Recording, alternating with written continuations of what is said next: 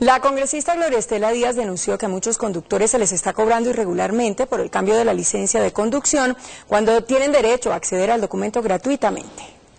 Personas con licencia de conducción de servicio público que la usan para vehículo particular no deberían pagar por la renovación del pase según la congresista Gloria Estela Díaz. Que estos conductores que tienen licencias de conducción categoría 4, 5, 6, C1, C2 y C3 así estén vencidas, pero manejan vehículos particulares, no deben pagar por la renovación. Cuatro fallos de tribunales, uno de la Corte Constitucional y dos leyes son las pruebas que respaldan la denuncia de la congresista. Para Gloria Estela Díaz, los centros médicos que valoran a los conductores han sido los beneficiados del cobro ilegal. Está afectando a 12 millones de conductores que tendrían ese derecho y el costo de esto está alrededor del 1.3 billones de pesos. La congresista pidió a los conductores afectados solicitar la devolución de lo pagado.